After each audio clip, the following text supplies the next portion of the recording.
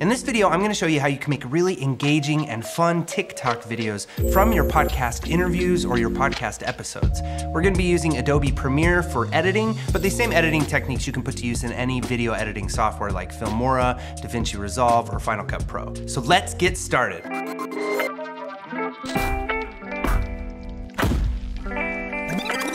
Hey, welcome to the Pod Sound School, where we're obsessed with podcasts and content creation. On our channel, every week we post a ton of really helpful content that you can use to take your online content to the next level. So if you haven't subscribed to our channel yet, consider doing so now. So, first, I have to say that podcasts are getting very popular on TikTok. All you have to do is search for podcast, and you'll see dozens of them come up that are performing really well. Everyday podcasters that would otherwise be banished to obscurity or buried in the podcast directories now have an algorithm that's suggesting their content to people and they're finding whole new fans. And some of these podcasts are actually utilizing playlists that you can go to when you go to their TikTok channel.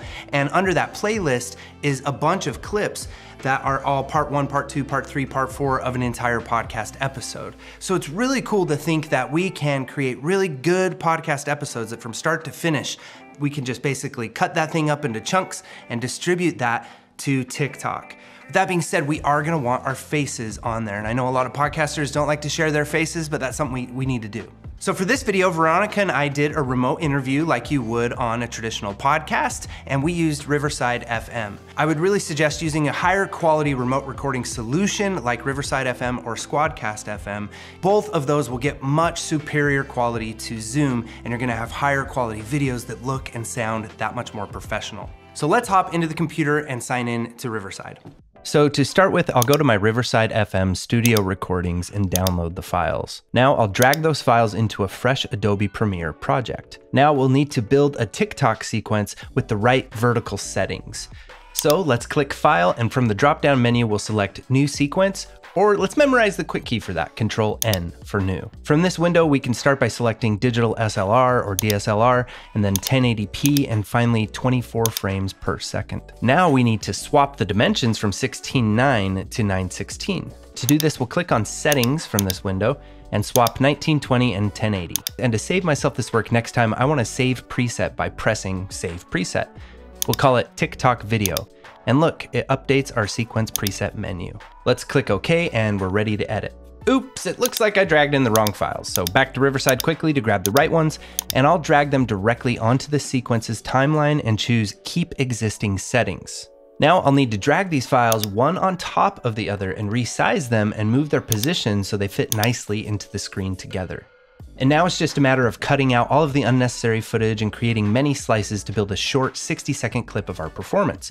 You could do this with your podcast episodes or even create many short clips out of one podcast episode. Now that I have the basic edit done, I'm going to create two more shots for close ups of each of us. So to do this, I'll select all of the clips, right click, and choose Unlink. This way I can select just the video portion of these files. With all of the video clips highlighted, I'll press Ctrl C for copy and Ctrl V for paste later in the timeline. Now I'll drag the copies onto the other clips, and now let's highlight the original clips together and right click again to bring up this menu. And from this list, let's choose Nest to create a sequence from these clips and rename it Us Together. Now we just need to resize each of the new clips and I've noticed that 180% is the right scale to do that. So I'll type that into the effects panel here. Once they look right, I'll finish up the basic edits by deciding when each will appear. Okay, my basic edit is complete. Now we couldn't export without touching up the images and color. So let's use the Lumetri color effect in Adobe Premiere to balance the colors, add some contrast and a touch of saturation, and maybe even a little vignette.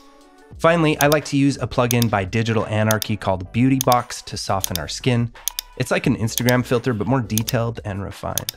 Once I've got the pictures looking the way I like, I can highlight both the Lumetri color effect and the beauty box effect from the effects panel and press Ctrl C for copy. Then I can simply highlight the rest of the clips and press Ctrl V to apply the same effects to all the clips at once. We're almost done, we just need to sweeten up the sound. There's a nifty drop-down menu that allows us to add inserts to our audio tracks. I'll use a noise reduction plugin called the NS1 Noise Suppressor by Waves. I'll put that on both of our tracks, and I'll also use a basic voice compressor modeling the famous 1176 compressor, a favorite of mine, on both of our tracks as well. While we're working on the sound, it's only right to drag some music in. we can adjust the volume of the music and then automate it to change the volume throughout the video. So close. Since in this specific video we were talking about how to use Riverside FM, I'm gonna bring in some graphics and some video clips to add to our sequence to make it even more eye-catching and fun. We'll need to change the position of these items around and get creative with our vertical space. For the last item here, let's add keyframes to the position and the scale of this screenshot clip. Then we can progress later in the footage and change the scale and position and Premiere will automate this movement. Thanks, Premiere. You can do this with your own graphics, videos, photos, logos, or even eye-catching titles and animations. And there you have it. I hope that sparked a lot of ideas for you. You can see how basically you can just drag in and drop multiple frames and you could really start to play and get creative with that vertical space. It can be a little bit to wrap your head around if you're used to the 16:9 dimension in your own video creation, but it's really fun. Please share your creations with us, share your podcast with us. Any questions that you have, leave them in the comments below. We are here to see you grow, and we love talking to our podskis here on YouTube. Also, you can see this completed project on our TikTok page, and I will leave the link for that in the description right where you're watching this video. Come check us out on TikTok and follow us over there. We also post daily short videos on TikTok with a ton of podcasting and content creation tips in small, bite sized pieces, all for you to unlock your creative powers and succeed with your endeavors in this creator economy. Hey, and until the next video, happy casting.